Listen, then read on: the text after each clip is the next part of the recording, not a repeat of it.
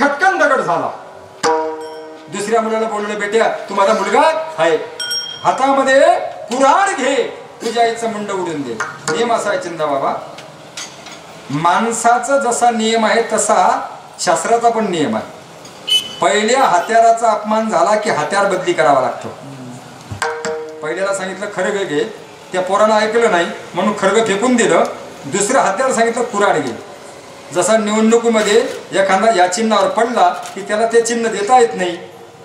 तू कितला बी चिन्ह बदला आता ठेवला डायबा ठाऊ नाही.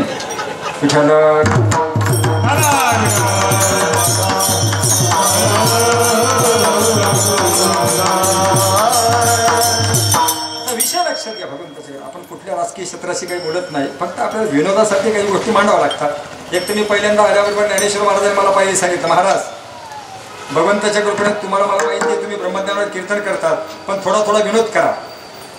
जर तुम्ही थोडाफार विनोद करशाल तर तुमले तारीख भेटी नाही तर तुम्हाला काटूक आठीच मिठी म्हणजे झालं.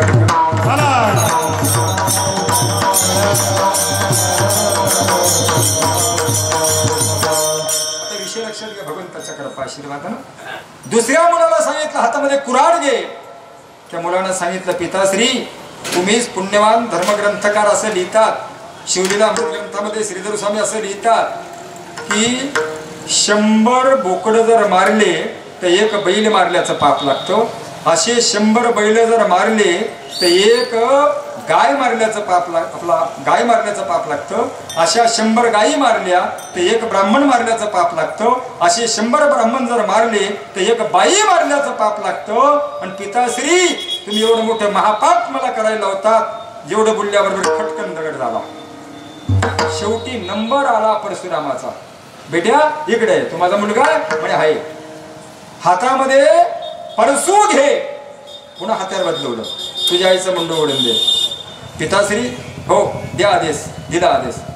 तोपर्यंत पाच मिनिटाच्या आत रेणुका गंधर्वांची क्रीडा संपल्यानंतर वापस आल्या. आणि पायऱ्या चढायला लागल्या. तोपर्यंत बापानं सांगितलं परशुराम दे तुझ्या आईचं मुंड उडून एका प्रसूच्या घावामध्ये आईचं शिर एका बाजूला धड एका बाजूला धडकन जगदंबा धरणीवर पडली. आणि जमदग्नी ऋषी खद खद असायला लागले वा बेट्या वा! अरे धन्य आहेस तू. हे कीर्तनकार चंद्रश्री असेपर्यंत तुझ्या कीर्तीचं वर्णन करतील. तू बापाच्या आदेशाचं पालन केलं म्हणजे विष्णू पूजा स्थान तुला प्राप्त झालं. म्हणून तुला चंद्रश्री असेपर्यंत तुझं नाव राहील. पण पिताश्री प्रसन्न झाले. बेट्या माग तुला काय मागायचं ते? मुलांना सांगितलं पिताश्री पहिल्यांदा वचन द्या. दिलं वचन. जुन्या काळामध्ये वचनाला फार किंमत होती बरं का बाबा. एकदा वचन दिलं माणसं मरून जायचे पण वचन बदली व्हायचं नाही. वचनाला फार किंमत होती. आता परत एक जणी टेम्पोवरती पंधरा सह्या करीवला मी म्हणी पडा तो आई म्हणे सही नाही म्हणे. म्हणतात तू सीसीटीव्ही मी पॅक होईल जे तुला बाप सुद्धा बदलू शकत नाही आधी. तुझ्या काळात लिही या. ध्यान द्या भगवंताच्या कृपेने. त्या काळात चालून जायचं. आता सह्या करताना तुला सीसीटीव्ही मध्ये तू बरोबर त्या ठिकाणी कॅच झालेला आहे. आता नेमकं सांगितलं भगवंताच्या कृपेने वचन द्या दिलं वचन. पिताश्री वचन दिलं हो. झालेली दगड माणसं बनवा आणि मेलेली स्त्री पुन्हा बाई बनवा. एका सेकंदामध्ये झालेली दगड माणसं झाली आणि मेलेली स्त्री पुन्हा बाई होऊन उठून उभी राहिली. पण तुम्हा बसलेल्या सर्व श्रोत्यांना हात जोडून विनंती आहे तुमच्या पाया पडतो. असा आदेश तुम्ही घरी जाऊन तुमच्या पोरांना देऊ नका. तुम्हा करताना बाई तुटावू नये. जर राग संतामा तुटी गेली तर ती जित्ती व्हावी बाबा सहित तीन महिना तुमले जमीन सुद्धा व्हावा. पुराणातली पुरा पवाडे पुराणात ठेवा. ते आपलं काम नाही आपण तपस्वी नाही आपण साधू नाही ऋषी नाही मुनी नाही. बारा बारा वर्षांनीचा एका पायावरती तपश्चर्या केलेली आहे. बारा वर्षांनीचा भाजीचा पाला खाल्ला म्हणून त्या विदुर काकाला ज्ञानाची प्राप्ती झाली. आपल्या काही काही लोकांनी एका कीर्तनात अर्धा किलो वाटीभर गुळ खाल्ला. तो म्हणे सरी घ्या सरी येणे घ्या तू दुखाडी घ्या चालता कीर्तन मा सरी काय त्यांना का रे? खाई रांधा. विठ्ठल विठ्ठल.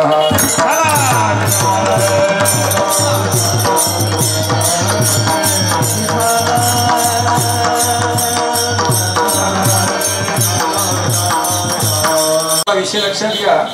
बापाच्या आदेशाचं पालन करणं ही विष्णूची पूजा आहे. किती क्रमांकाची आहे? तिसऱ्या क्रमांकाची. तिसऱ्या क्रमांकाचं पूजास्थान थोडंसं बाजूला ठेवलं चौथ्या क्रमांकाचं पूजास्थान आपल्या हातामध्ये घेऊ. पती सेवा आया बहिणींकरता बोलतो पतिवर्ता स्त्रीने पतीची सेवा कशी करायची? आणि भगवंताच्या कृपेने विष्णूपूजा स्थान कसं प्राप्त करायचं? हे सांगण्याकरता पुन्हा एक दृष्टांत देतो पुन्हा भजन करा. विठ्ठल.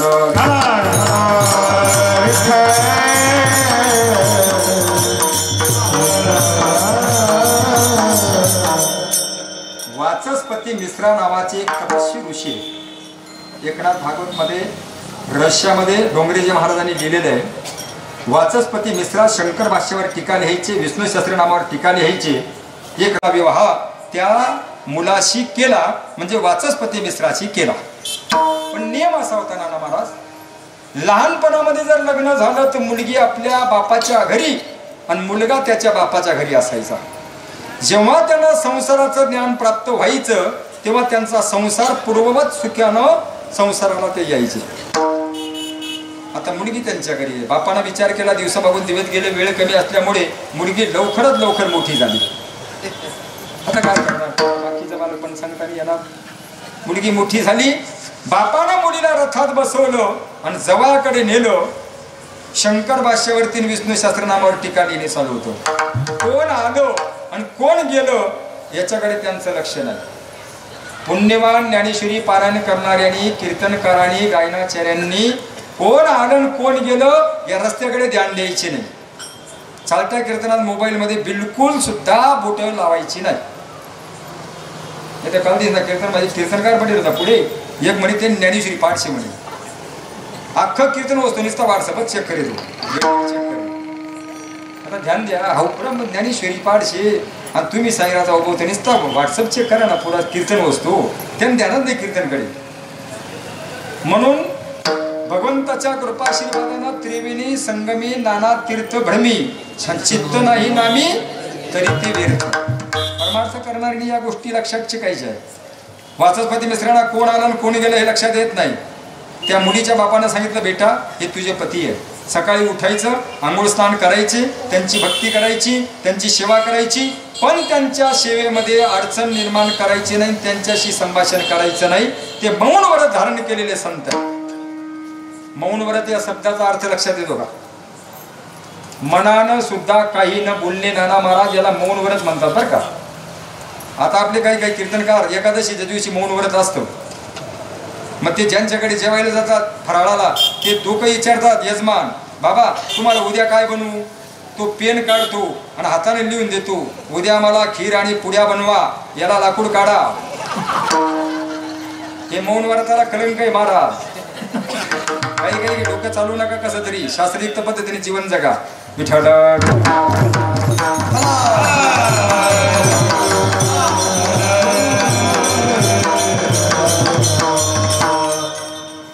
आता बापानं सांगितलं बेटा सकाळी उठायचं आणि पतीचं दर्शन घ्यायचं. आज आमच्या आया बहिणीची संख्या खरंच नाना महाराज. मालेगावात माझे अनेक कीर्तनं झाली पंधरा वीस कीर्तनं झाली पण पहिल्यांदा एवढ्या जगदंबेचा उपस्थिती मी बघितली. या जगदंबेमध्ये बसलेल्या आयांमध्ये मला एक पुण्यवान आईचं दर्शन घ्यायचं आहे की जी आई आमच्या धर्माचं पालन करते ग्रंथाच्या आधारावर वाचस्पती मिश्रांची पत्नी जे करते ते आचरण करत असेल त्या भाग्यवान आईच्या चरणावर मस्तक ठेवायचं आहे की सकाळी उठल्याबरोबर जी आई आपल्या पतीचं दर्शन घेते दररोज त्या आईनं वर हात करा बरं. एक दोन तीन एकच म्हातारीने केला हात वर एकच. माझं कीर्तन ऐकल्यानंतर तुम्ही मला पुन्हा तारीख नाही दिली तरी चालेल. पण एकच शब्द माझा घरी घेऊन जा. उद्या तुमच्या पतीला सुद्धा आनंद झाला पाहिजे. की रातले कोण कीर्तन होतो बा? त्याने मला शोध देत देत मला रूम बीड जावं पाहिजे बा. की महाराज एकच कीर्तनात जर एवढा फरक पडला तर आपल्या धर्माचं रक्षण होईल आणि आपल्या देशाची प्रगती होईल. म्हणून ध्यान द्या माता भगिनी हो. पतिवर्तेचा अधिकार सांगतो तुम्हाला. समोर बसलेल्या माता भगिनींनी एका जाईने हात वर केला. उद्यापासून आज संकल्प करा. उद्या दत्त जयंती आहे. ज्या पतिवर्तेच्या पोटी ब्रह्मा विष्णू महेश यांनी अवतार घेतलेला आहे त्या जगदंबेची उद्या पर्वणी आहे आणि उद्या दत्तात्रय भगवंताचा अवतार आहे. त्याच भगवंताच्या चरणावर मस्तक ठेवून तुम्हाला विनंती करतो तुमच्या हातपाय जोडून विनंती करतो की उद्यापासून तुम्ही घरी गेल्यानंतर दररोज सकाळी उठल्यानंतर पंचायतीचा ताट घ्यायचा पतीची सेवा करायची दररोज त्यांचं दर्शन घ्या. असा संकल्प आजपासून करा. झाला संकल्प?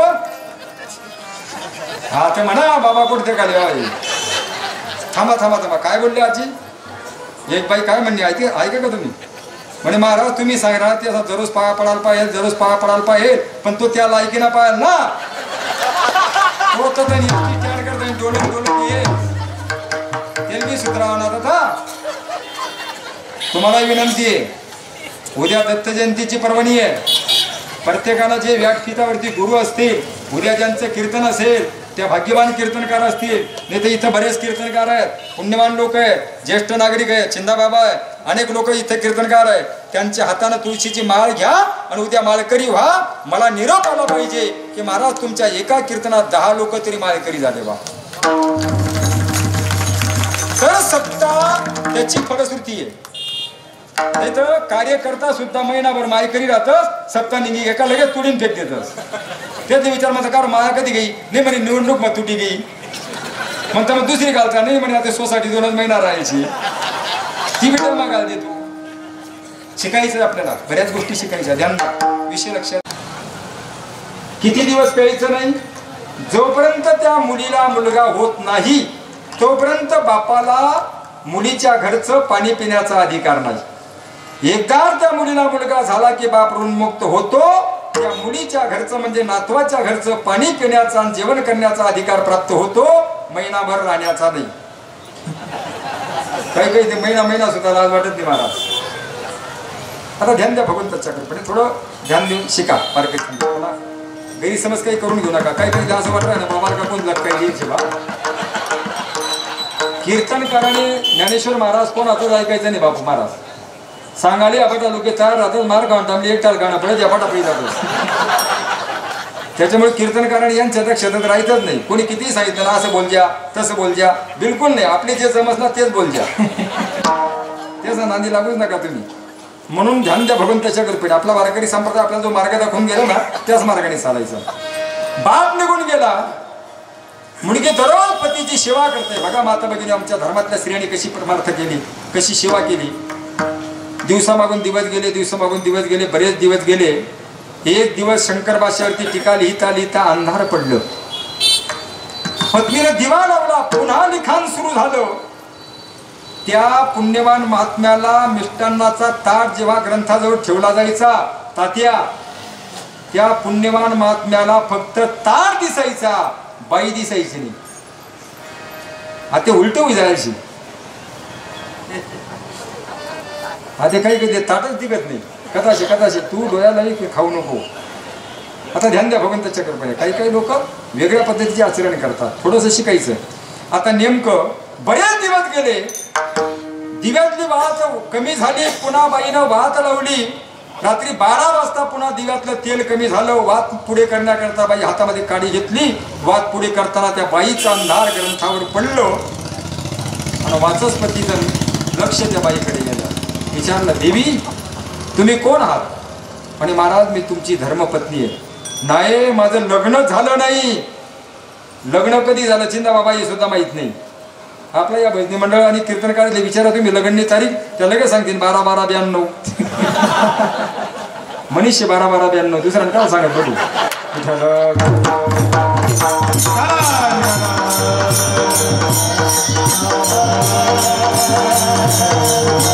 पण लग्न कधी झालं हे सुद्धा सांगता येत नाही.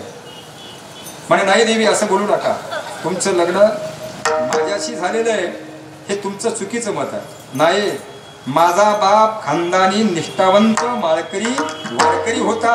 आणि माझ्या बापानं सांगितलेलं आहे हे तुझे पती आहे माझा बाप काय हुंडा चुकार कंपनीचा डायरेक्टर नव्हता. आता भगवंताच्या ठीक आहे अनुसंधान लावलं बालपण आठवलं जसं तुम्हाला बालपण आठवतं ना तसं आठवलं. बालपणातलं संधान लावल्यानंतर लक्षात आलं हो थोडं थोडं आठवतं देवी लग्न झालेले. पण तुम्ही इथं कधी आला? बघा या बहिणी काय उत्तर दिलं? म्हणे पतिराज मला इथं येऊन छत्तीस वर्षे झाले छत्तीस. वाचस्पती मिस्त्रा ढसा ढसा रडायला लागले देवी छत्तीस वर्षे झाले? हे मिष्टानाचे भोजन तुम्ही द्यायचे? हो कपडे तुम्ही माझे धुवून आणायचे? हो. मग तुम्ही माझ्याशी बोलले का नाही? माझ्या बापानं सांगितलं होतं की पुण्यवान महात्मा आहे. मौन व्रत आहे. त्यांचं मौन व्रत मोडायचं नाही. ते जोपर्यंत तुझ्याशी बोलत नाही तोपर्यंत तू बोलायचं नाही. ही जुन्या काळातली परिस्थिती होती. आता सांगितलं काही फायदा नाही महाराज तुम्ही पुन्हा तारीख देवाने मी सांगायला होतं आता ध्यान द्या भगवंताच्या परिस्थिती फार बदलत चाललेली आहे. जुन्या काळामध्ये वधूवराला मध्ये अंतरपाठ धरला जायचा. कशा करता वधूवरा द्रष्टा दृष्टीनं करणे लग्न होईपर्यंत नवरदेव नवरीनं एकमेकाकडे बघू सुद्धा नये असा नियम होता. बाप ठरून यायचा आशाची पोरगीशी आटली आटलीशे ती करणं पडी. होय. झालं तर? आता नवरदेवचा मामा नवरीचा मामा मध्ये अंतरपाठ धरतो आणि आपला बासा असा उचकून पाहतो. थोडा सुद्धा दम नाही ना. आता काय डोकं चालायचा शर्माचा झाला तेच नाही ना. आता नेमकं असं घडलं भगवंताच्या कृपाशी. बापानं सांगितलं होतं मौन व्रत त्यांच्याशी बोलू नका. तुम्ही बोलले म्हणून मी बोलले. देवी छत्तीस वर्ष झाले हो. मी प्रसन्न तुला. माग तुला काय मागायचं ते? पहा जगदंबेचा अवतार असलेल्या आमच्या आया बहिणी रेणुकाच्या रूपात तुम्ही आहात. लक्ष्मीच्या रूपात तुम्ही आहात. तुमच्या चरणावर मस्तक ठेवून सांगतो त्या जगदंबेनं काय केलं? पतिरास तुम्ही प्रसन्न झालात. मागा तुम्ही काय मागायचं ते? बघा काय मागितलं ते. शंकर भाषावर टीका लिहिणारा विष्णू सहस्रनामावर टीका लिहिणारा मौनवरच धारण करून अखंड भगवंताच्या चिंतनात राहणारा असा पती मला सात जन्मापर्यंत पती मिळावा. बस एवढीच माझी मागणी. वास्तवपती पुन्हा रडता देवी मी तुला काय सांगितलं तू काय मागितलं? डसा डसा रडता देवी काहीतरी मागा. नाही एवढंच मागणं आहे माझं. काही मागणे ते आम्हा अनुचित. वडिलांची रीत जाणं तसे आम्हाला काहीच मागायचं नाही. आता घरी गेल्यानंतर तुम्ही सर्व माता भगिनींना विनंती आहे पुरुष मंडळी जेवढी बसलेली आहे तुम्हाला विनंती आहे. घरी गेल्यानंतर तुम्ही दहा वाजता जेवण झालं की प्रत्येकानं आपल्या पत्नीला जवळ बसवा आणि त्या पत्नीला सांगा रात्री मी आनंदराव महाराज मराठींचं कीर्तन ऐकलं मी तुला प्रसन्न आहे. माग तुला काय मागायचं ते? आपली बायको सांगी आई घर आणि तो पलाट मन्ना नावना कर दे तू दिंडीमा सीधा बाबा बन जाय. आता नाही होणार तरी चालेल. ही आपली मागणी आहे. फरक आहे थोडासा. ध्यान द्या सतीयुगामध्ये आणि कलियुगामध्ये किती मोठा फरक आहे तो तुम्हाला सांगायला आता आपला वेळ नाही आपला वेळ संपत चाललेला आहे. ध्यान द्या भगवंताच्या कृपेने. म्हणून बापाच्या आदेशाचं पालन करणं पतिव्रता स्त्रीने पतीची सेवा करणं इतकी सेवा करणं याला काय म्हणतात? अभंगाच्या दुसऱ्या चरणात.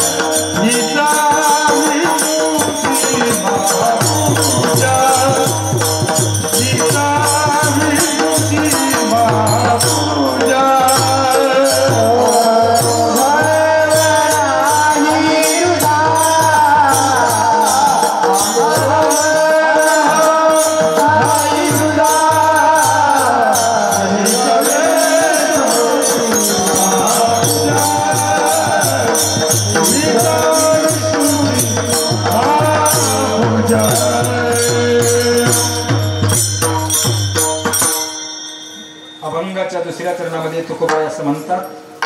पहिल्या चरणामध्ये चार पूजास्थानांचं वर्णन केलं. स्वामिकात गुरुभक्ती पितृवचन सेवापती मालकाचं निष्ठावंत भावनेनं करणं गुरुची सेवा निष्ठावंत भावनेनं करणं बापाच्या आदेशाचं पालन करणं आणि पतिवर्ता स्त्रियांना पतीच्या आदेशाचं पालन करणं. याला दुसऱ्या चरणामध्ये तुकोबाई असं म्हणतात की हेची विष्णूची महापूजा अनुभव नाही दुजा दोन चरणावर सिद्धांत दृष्टांत देऊन दुसरंही चरण पेटिका करून बाजूला ठेवलं गेलं.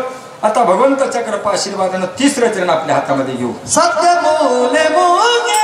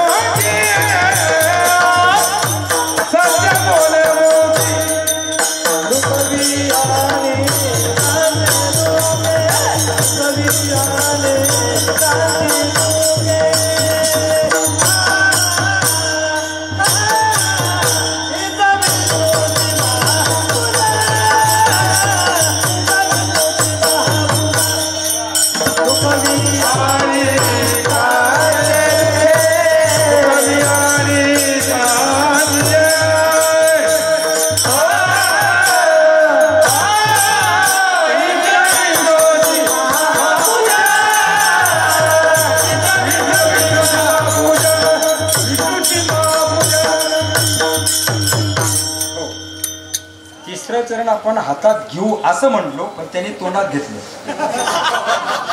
आणि बाहेर फेकलं. आता तो तोंडात केलेला घास आहे तो बाहेर ओढू नये महापाप लागतं. जेवताना कोणी बसला ना त्याच्या तोंडातला घास पाडायचा नाही. जुन्या काळामध्ये घास आणून पडायची सवय होती. होती ना? जेवता जेवता सोयरा जायला असा आधीच काही देत म्हणून त्यांना म्हणते देऊ द्या ते तोंड टाकाय जायची खाऊ द्या अजून आपल्याला निरूपण बाकी होतं पण काही हरकत नाही. त्यांनी लोटालोटी सुरू केली. याचा अर्थ असा झाला की तुम्ही मावरा महाराज टाईम संपी जायचे बाहेर काय हरकत नाही. आवड आपण आम्हाला दिलं गेलं. चौथ्या चरणाचा विचार कधीतरी करू. कारण आता नाविलाज झाला. जे झालं ते झालं. एकदा फळ्यावर लिहिलं गेलं ते भगवंताच्या कृपेने ते पुसता येतं. पण जर कधी वहीवर लिहिलं गेलं पेननं आणि तेही भगवंताच्या कृपेने काळी पेननं लिहिलं गेलं. ते पुसता येत नाही. त्याच्यामुळे मुखानं सत्य बोलणं ही विष्णूची महापूजा दुसऱ्याच्या दुःखामध्ये दुःखी होणं ही सुद्धा विष्णूची महापूजा दुसऱ्याच्या दुःखामध्ये दुःखी होणं ही पूजा स्थान बाजूला ठेवू. आणि नंतर पहिल्यांदा वारकरी संप्रदायाच्या नियमाप्रमाणे मुखानं सत्य बोलणं म्हणजे काय बोलणं? तीन चरणांचा भावार्थ हातानं आपला झाल्यानंतर हातानं टाळी आणि मुखानं त्या भगवंताचं भजन करणं.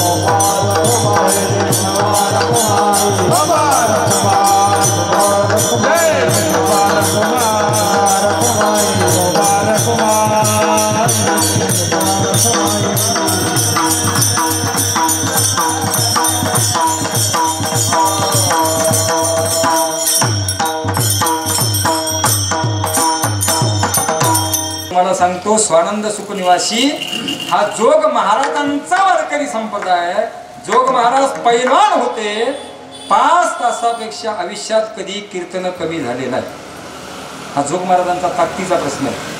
जसा रामराव महाराज ढोक आज रामायणात तीन तीन तास बसतात.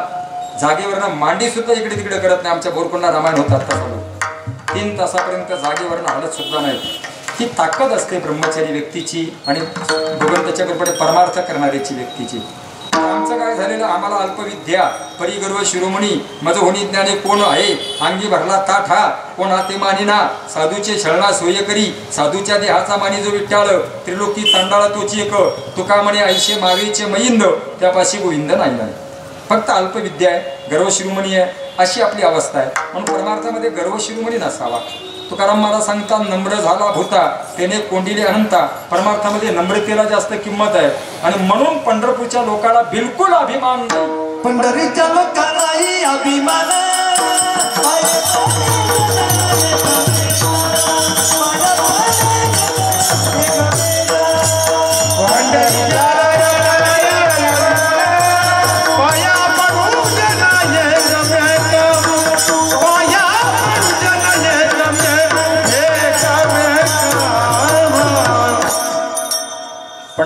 पंढरपूरच्या लोकांना हे अभिमान पाया पडलेला एकमेका.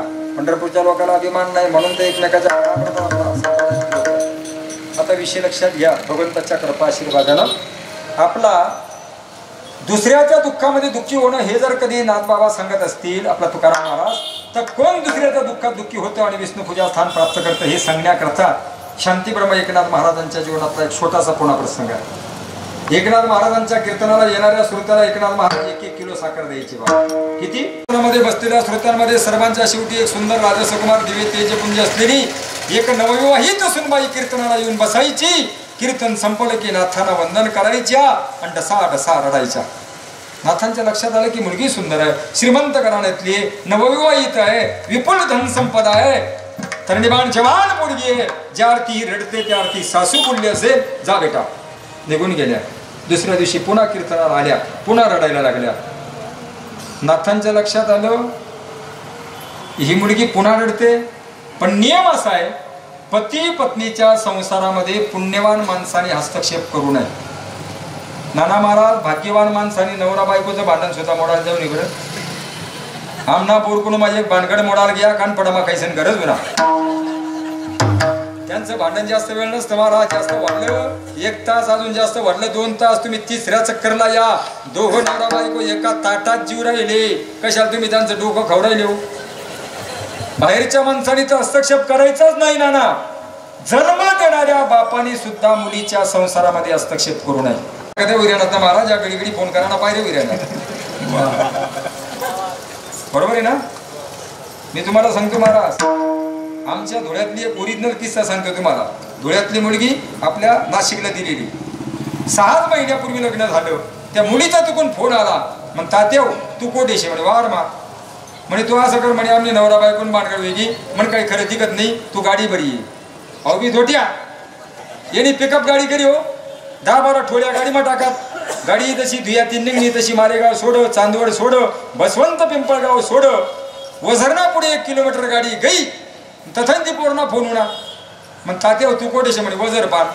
म्हणे तू असं कर म्हणे आम्ही नवरा बायको गोडू वेगो तू मागे फिरी जाय. डोकाने आई गाडीने मारे कोण बडी? तुम्ही तिघ्यात गोड होई म्हणून जन्म देणाऱ्या बापाने सुद्धा मुलीच्या संसारामध्ये हस्तक्षेप करू नका. कारण या आमच्या मतारामध्ये चिंता वयस्कर या विदंबारतील महाराज. एखादी सुंदर चुकाई गेला चिंता महाराज. ती बाई डायरेक्ट बोल टाकायचं आमने माहीत होतं तुमचं खानदान बोगशी असं. तेव्हा ती पोर फोन करत मग त्या हो, म्हण सा- सासू म्हणे तुमनं खानदान बोगशी म्हणे. म्हणूनच मी येऊ नको पहिलेच घर दोन पडेल क्षेत्रे रातना कीर्तना सांगा घर दोन पडेल शेत एक म्हणे महाराज त्या पडेल सुद्धा लोक उचलेली जाणार म्हणे कारण पोरीच भेटणार नाही तुम्हाला तुमच्याकडे नाही का असं चढून तुटला? मुलींची कमी आहे का? थोडी कमी आहे ना? ध्यान भगवंत भगवंताच्या मी सांगली सातारा सोलापूर कोल्हापूर इचलकरंजी अक्कलकोट पर्यंत जातो बाबा कीर्तनाला. देवाला सृष्टी निर्माण करताना गुण आणि दोष नर आणि माधी मिश्रित सृष्टी निर्माण केली. मुलींची कमी नाही मुलांची कमी नाही. त्या सांगली सातारा सोलापूर कोल्हापूर इचलकरंजीकडे इतक्या पूर येत महाराज. त्या सोलापूरना माल आपला मालेगाव मन या मग जायले. त्यांना माझी येजडे आणखीन पाच पन्नास हजार रुपया खाई देतच ते लगीन जोड देतच ती पोरगी सव महिना राहत आणखीन पैजा सावभाऊ कुवारा शिव. माले लोक विचारतात महाराज तर मला संपच कसा नाही?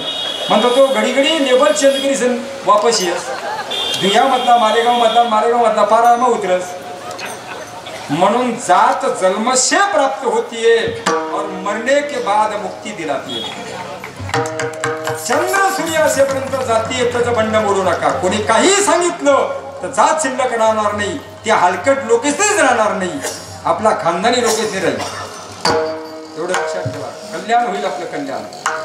शिकत्रा वारकरी संप्रदाय काय सांगतो? हलकट लोकांच्या विचाराच्या अधीन होऊ नका. कोणी काही सांगितलं कानाचे कच्चे राहू नका. मार्ग जाऊन गेले आधी दयानिधी संत दे तेनेचे पंथे चालू जाता. न पडे गुंता कुठे काही? बुडून या नानामध्ये जिथे सिद्धांत सौरसे पण वारकरी संप्रदायामध्ये जे परंपरा आपल्याला सांगितलेली आहे फक्त परमार्थाकरता जाते त्याचं बंडन असावं. चोखोबा तर सांगतात आमच्या परमार्थामध्ये तुम्ही कसेही या. खतरत यावे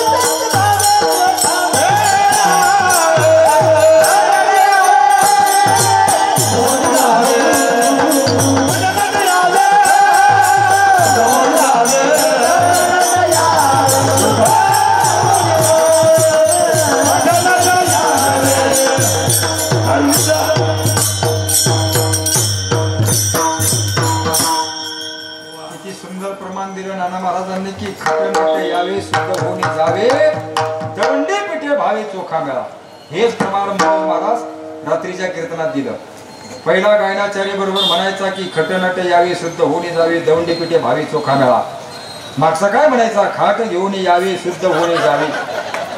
म्हणत याला लाकूड काढावे. भजन करणे ओंगळ वाणे नरका जाणच मी काही करू शकत नाही त्याला. समाजच तसा आहे त्याला आपण काहीच करू शकत नाही. विनोद करावा पण तो जागेवर तयार करून करावा.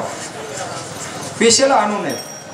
काही काही लोक उष्टा विनत आण राहणार आणि त्याच त्याच सांगितणार एक म्हैस होती तिना वाकडे शिंगावाचा. एक जण सौ महिना जाणार विचार करेन का त्यानं डोकं घाल दिनं म्हैस उदय गेली. इमानदारी मा सांगा इथला बिंडोक माणूस याचं मग होई का हो? म्हैस ना शिंगडा डोकं घालती का? सांगणार इथला बांधवतोय का तो? पण वारकरी संप्रदायामध्ये कोण काय सांगल त्याचा भरोसा नाही. याच्याकरता सावधान राहा. वारकरी संप्रदाय उच्च कुठीतला आहे. संत महात्म्यांच्या परंपरेतला आहे. आता आपला विषय कुठे होता त्याच्याकडे लक्ष द्या. भगवंताच्या कर्पणे एकनाथ महाराज त्या मुलीला विचारतात. इथंच होतो ना आपला विषय? कीर्तनकार जागेवरनं सुटणारा नाना महाराज जागेवर आला पाहिजे. काही काही ते मी कुठे होते ते सुद्धा समजत नाही. कोणाकडे पाहुणा म्हणीचे नाही ते सुद्धा माहिती राहत नाही. समजा भगवंताच्या कृपेने आमचे नाना महाराज आमच्या तात्यांकडे पाहुणे म्हणून आले. नाही. हाती नेणंच पडी आंघोळ का नाही? कसं म्हणाला बरं तुम्ही सोडून द्या. आमचे बाप्पू महाराज आमच्या तात्यांकडे पाहुणे म्हणून आले. आता बैजबरी लग्न करूच नाही महाराज मुडीच असते. विठाल विठाल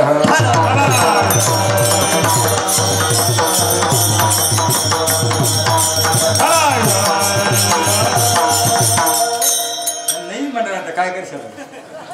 आमचे बाप्पू महाराज आमच्या तात्यांकडे पाहुणे म्हणून आले. बा तात्याने विचार केला पंधरा वर्षानंतर माझ्याकडे माझे पाहुणे म्हणून ते आले. म्हणून यांनी पुरणपोळीचं जेवण टाकलं. तोपर्यंत आमच्या चिंदाबाबाने निर्णय घेतला. ते माझे पण नातेवाईक आहे आपण चहा पिण्याकरता आपल्या घरी नेऊ. यांच्याकडे पुरणपोळीचं जेवण तयार होते तोपर्यंत चहा पिण्याला बाबांनी त्यांच्या घरी नेलं.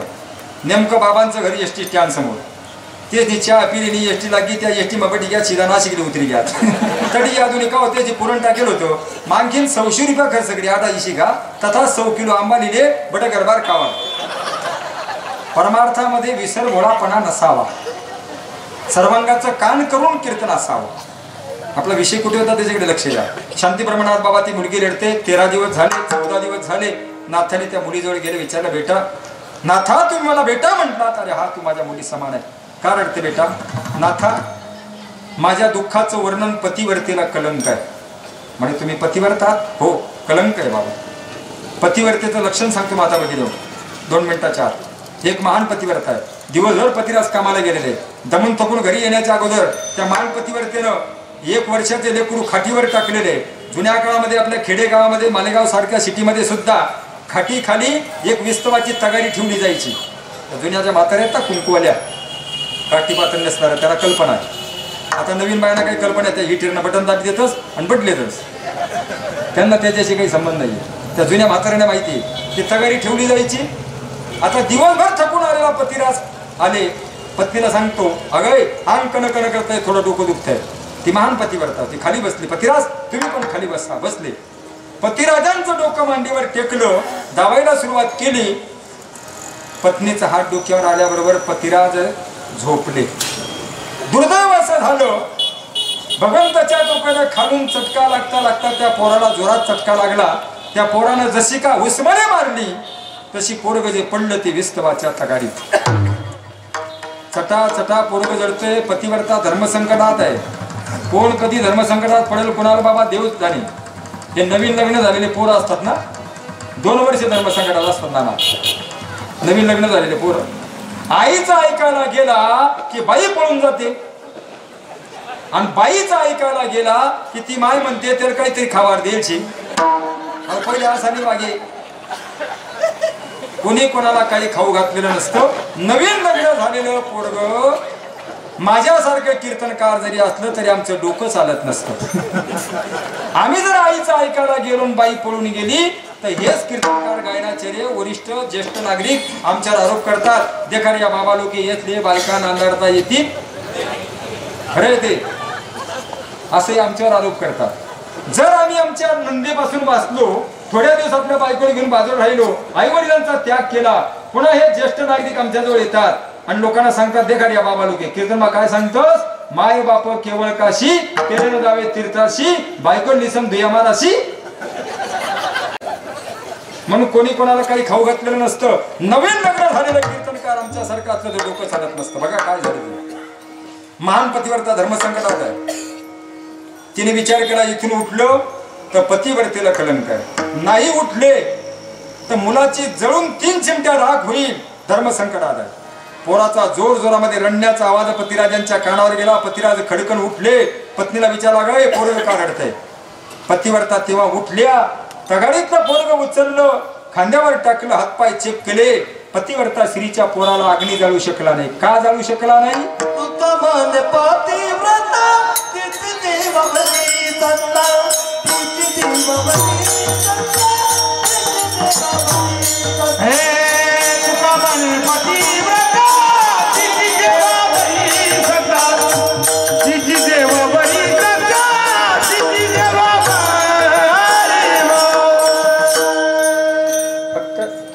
मुखातली रचना फक्त सुरत्यांच्या कानावर गेली पाहिजे. त्यांचे कान पवित्र झाले पाहिजे. मी सांगतो हे बरोबर आहे का? चुकीचं आहे. हा पाठपुरावा करण्याकरता साक्षीदार तयार केले आणि मग विषय मांडला गेला. साक्षीदार चांगला पाहिजे. कीर्तनकाराला सुद्धा. तर लोकांना पटतं. पण प्रमाण देताना प्रमाण शास्त्रयुक्त पाहिजे. काय प्रमाण सुंदर दिलं की तुका म्हणे पतिवर्ता तिची देवावर सत्ता. त्या पतिवर्ता स्त्रीच्या पोराला अग्नी का जाळू शकला नाही? ती महान पतिवर्ता होते. पुढे जाऊन सांगू बाबा. आमचे गुरुवारी धुंडा महाराज दगडूकर सांगायचे त्या पतिव्रता स्त्रीच्या पोराला अग्नी का जाऊ शकला नाही नाना महाराज? पतिराज आपल्या डोक्यावर बसले. मांडी टेकून झोपलेले असताना पतीची झोप मोड होऊ नये याच्याकरता ती पतिव्रता स्त्री मांडी सुद्धा बाजूला करत नव्हती.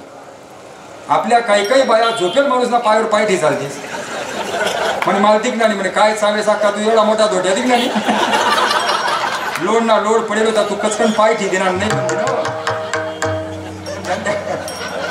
म्हणते पती राजांचा अपमान करू नका. हेच तर खरं दत्तात्रय भगवंताच्या भक्तीचं फळ आहे. दत्तात्रय भगवंताची तुम्ही उपास उपासना करतात ना हे तेच फळ आहे. आता ध्यान द्या आपल्या विषयी लक्षात घ्या. म्हणून भगवंताच्या कृपेने नाथबाबांनी त्या मुलीचा संसार सुखानं थाटून दिला. त्या तिच्या पतीला भगवंताच्या कृपेने प्रवचन कीर्तन करायला लावलं. अर्धा दृष्टांत इथं कट मारतो आणि डायरेक्ट पुढे नेऊन शेवटचा टप्पा तुमच्या हातात देतो.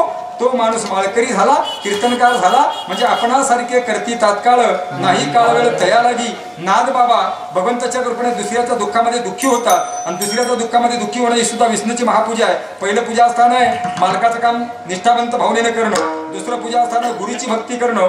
तिसरं पूजास्थान आहे निष्ठावंत भावनेनं बापाच्या आदेशाचं पालन करणं. चौथं पूजा स्थान पहिल्या चरणातलं पतिवर्ता स्त्रियांना पतीची सेवा करणं. पाचव्या क्रमांकाचं पूजास्थान आहे मुखानं सत्य बोलणं. सहाव्या क्रमांकाचं पूजास्थान दुसऱ्याच्या दुःखामध्ये दुःखी होणं या सहा पूजास्थानांचं ज्याचं निश्चयाचं बळ असेल त्याला काय फळ आहे? अभंगाच्या निश्चयाचे